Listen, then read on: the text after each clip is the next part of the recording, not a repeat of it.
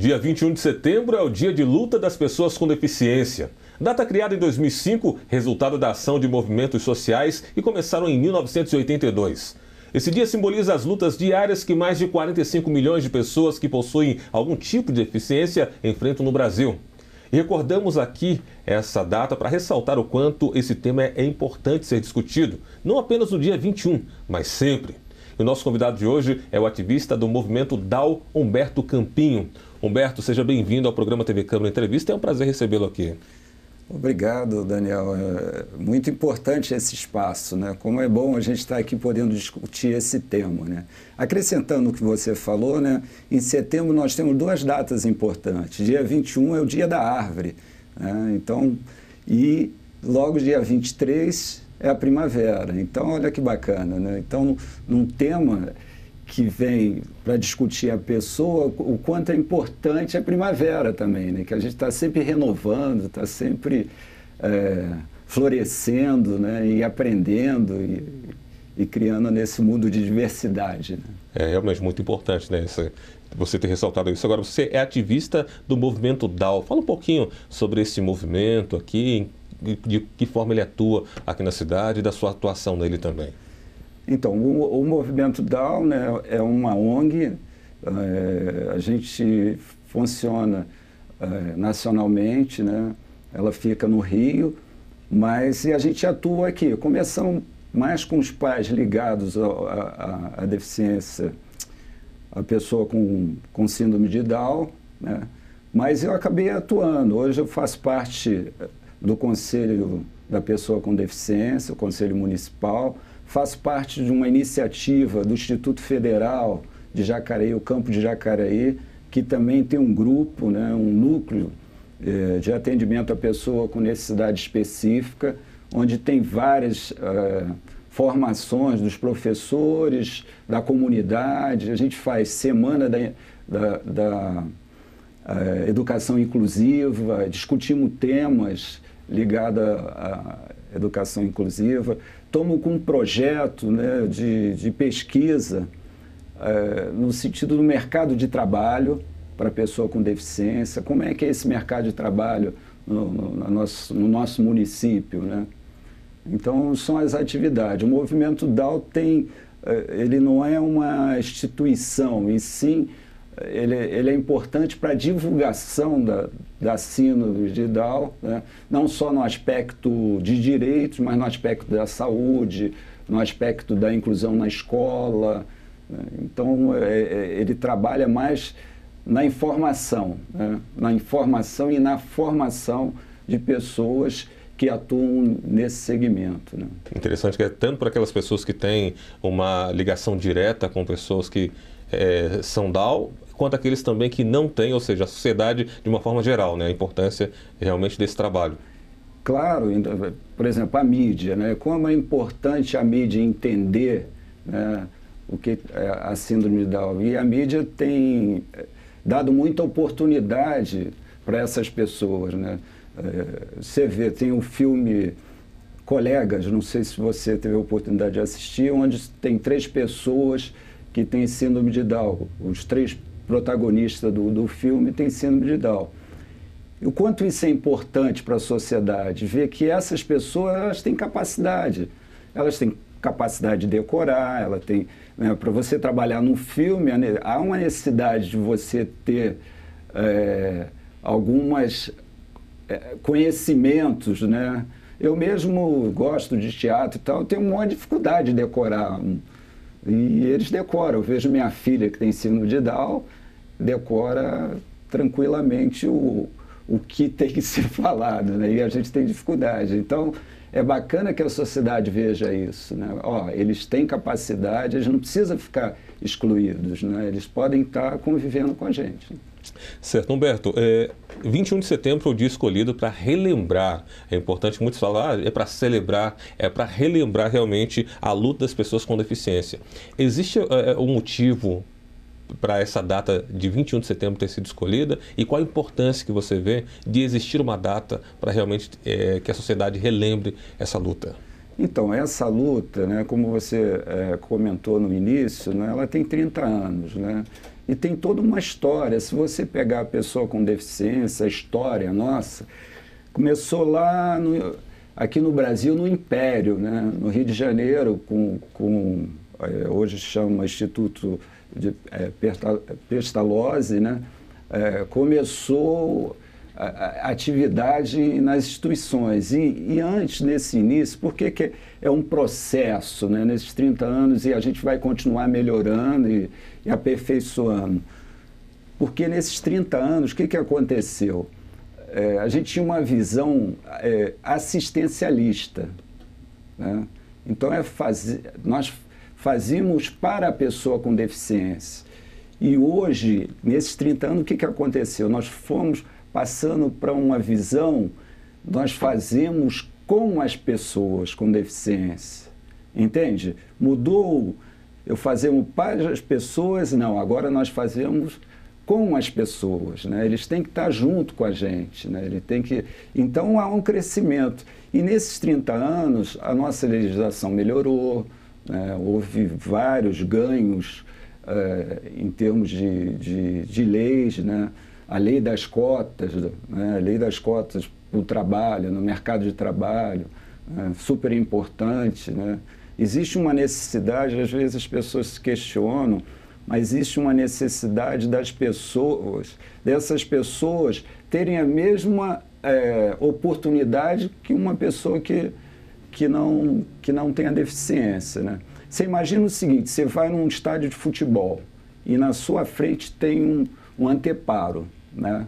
Você leva seus filhos, cada um tem uma idade e são de tamanhos diferentes. Se você colocar os três para ver o, o, futebol, se tem um menor, ele não vai conseguir ver, porque tem um anteparo. O que, que você tem que fazer? Você tem que colocar algum degrau para que ele fique na altura dos outros. Isso é, é o que a gente preconiza. O desigual ele tem que ser tratado diferente. Não tem, é, você tem que dar instrumentos para ele estar no mesmo patamar. Você entende? É, essa é a nossa discussão nesse, nesse, nesse momento. Né? É interessante notar, por exemplo, até por, pela terminologia, ou como se chama, por exemplo, a gente ouve muita gente falar, ah não, pessoa portadora de deficiência, é, é, o portador de deficiência, é. essa terminologia que a gente ouve muita gente falar. Qual que seria de fato, né? A gente mencionou aqui é, pessoas com deficiência, você enfatizou isso aí, essa, essa, essa linha de pensamento de como tratar né, aquela pessoa que, que tem uma necessidade especial, é, é, realmente até às vezes distancia um pouco, não sei se você tem essa visão, distancia até, começa ali pelo pensamento, pela forma de pensar e depois na forma de tratar também. Como que deve ser, na sua visão, a maneira correta, né, tanto de falar quanto também no tratamento, como você acabou de mencionar ali, nessa questão de enxergar o outro de uma forma especial? Então, o que, que acontece? Né? É, ninguém gosta de ser, é, ter um apelido e, e, e, às vezes um apelido que denigre a imagem da pessoa. Né? Então o deficiente também não gosta. Né? Na síndrome de Vidal a gente chamava de mongoloide. Né? Então, olha só, mongoloide. As pessoas se sentiam ofendidas.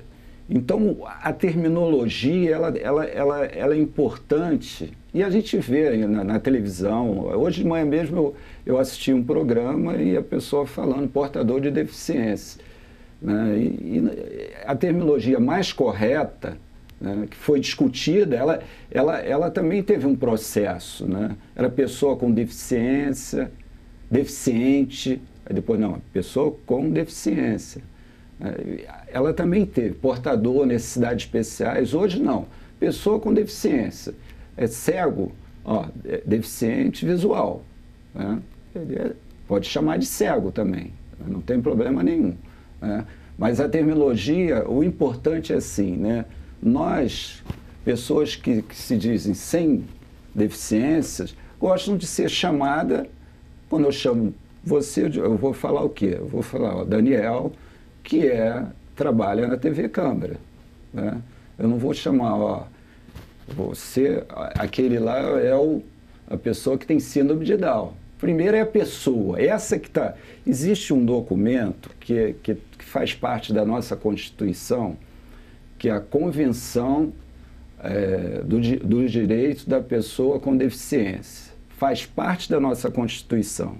Quem faz direito estuda isso porque ele está, ele é uma fez foi emenda é, constitucional que faz parte hoje da nossa Constituição.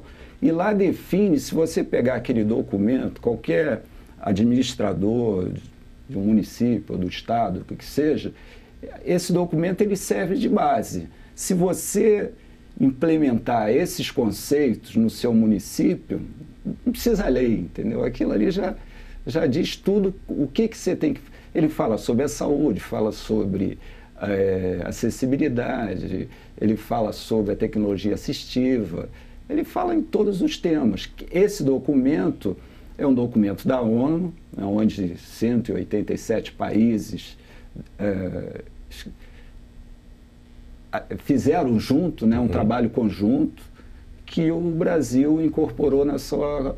Em, foi em 2009 começou a fazer parte da nossa Constituição.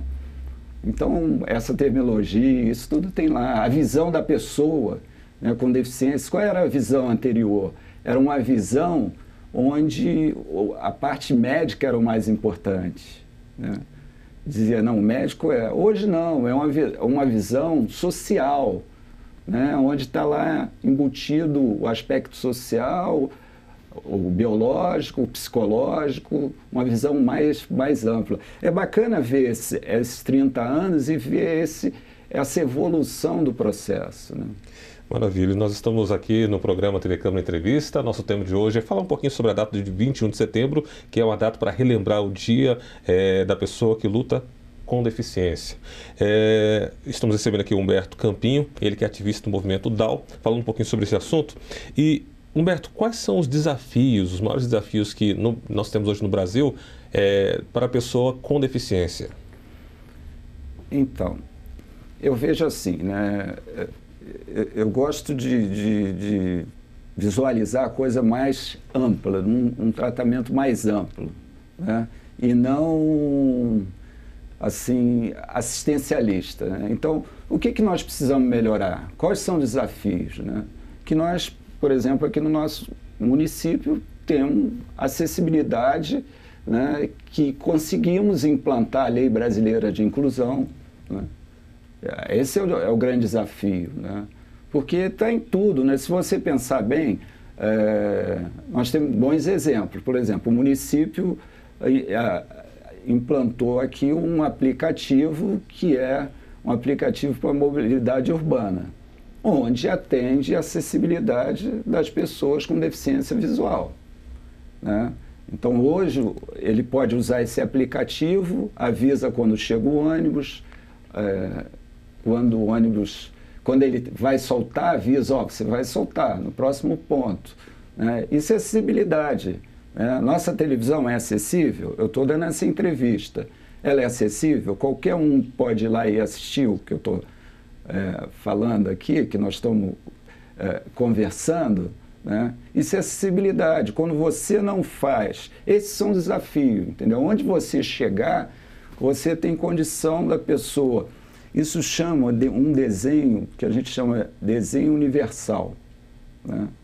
Qualquer um que chegar naquele espaço vai conseguir utilizar aquele espaço. Isso é na televisão, isso é é, quando ele for o médico, né? uma grávida surda, como é que ela interage com, com, com o médico, né? Isso, isso é o nosso desafio, entendeu? Como é que eu faço isso, né? Certo. Agora, você mencionou já um pouquinho sobre a nossa região especificamente é, dentro daquilo que você tinha observado, né, e você já citou algumas questões, mas se você pudesse aprofundar um pouquinho mais, é, nos desafios que nós já conquistamos, você mencionou algumas conquistas, mas qual seria, na sua visão, assim, o maior desafio que nós temos assim, é, para a nossa região, que é uma necessidade assim muito básica, muito comum, como você já citou alguns com relação ao médico, a tudo, mas que você vê que tem avançado, mas assim, você fala, ainda está faltando para que realmente seja uma coisa mais básica isso. Qual, o que você tem visto, por exemplo, no Não, geral? Então, No nosso município, né, vamos falar nosso, e aqui a nossa região metropolitana né, do Vale do Paraíba, é acessibilidade. A acessibilidade arquitetônica é um desafio. Né? Nós temos uma cidade antiga, que tem um monte de dificuldade, mas existem coisas simples que podem ser implantadas. Né? Por exemplo, o sinal com, com, com aviso né, para a pessoa é, com, é, com problema visual, com deficiência visual, né? e seriam né, as rampas, né, você poder andar na rua. Isso, isso não é só para o deficiente, é, pode ser para o deficiente, o outro deficiente. Não precisa ser uma pessoa idosa andar na rua. Esse é um, é um desafio. O outro desafio, três desafios assim, básicos, né, é a inclusão na escola. Esse é um desafio que né, é, que a gente e isso tem que mudar a cultura das pessoas. Né? O professor muitas vezes ele é não, não estou preparado, né? não posso receber. Nós temos exemplo aqui de escola é, privada, não é nem o município, é, as escolas são acessíveis, mas nós temos escola privada onde o aluno estuda no terceiro ano e ele não tem acesso, se for um cadeirante, não precisa ser cadeirante né? É, a gente sabe história da pessoa que quebrou a perna, uma menina, e não pode assistir aula porque está no terceiro ano. Ou alguém tem que carregar. Uma menina de 14 anos não se, não se sente confortável em uma pessoa carregar ela, entende? Então, ó, esses são os aspectos. E a lei brasileira ela ajuda muito isso, porque hoje a lei ela o engenheiro que, que assina, que libera um prédio desse sem acessibilidade, ele passa a ser a pessoa responsável, né? porque ele foi lá e deu o alvará para a autorização para aquele prédio funcionar. Isso a lei, então os colegas né, vão ter que mudar essa, essa, essa visão. Na hora de assinar, vai pensar duas vezes porque não tem acessibilidade aí. Aí você vê como é um desafio, né, Daniel? Olha como é de desafio. Como é que eu vou colocar, incluir a, a pessoa na escola, se minha escola não deixa nem eu ir na sala de aula? Eu não tenho acesso à sala de aula.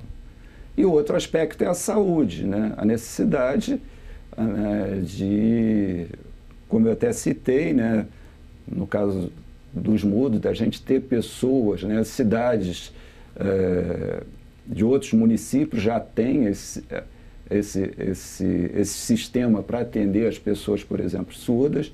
É, ter atendimento para essas pessoas. A, lei hoje diz que o atendimento é prioritário para essas pessoas. Então a gente tem que mudar um pouquinho da visão. Então o aspecto cultural dentro dessa discussão ele é muito importante. Nós estamos vendo a, a, a Olimpíada, né? A Paralimpíada, né? que na mídia chama Paralimpíada. Né? É, é, o que, que vai ficar depois disso daí, de legado para a gente? Né? É, já tem uma discussão, né? você observa, olha o desafio como é legal. Primeiro, as TVs é, abertas não fizeram é, cobriram, cobriram a abertura. A, abertura né? a uhum. nossa é, da bolinha não, não cobriu. Né? Da Flash, fez um resumo depois de 11 horas. Olha como é o desafio, né? O desafio é grande. A gente tem que mudar isso. A própria Olimpíada, por que tem duas? Por que, que não é uma só? Por que, que não tem uma unificação? Olha o desafio. Né?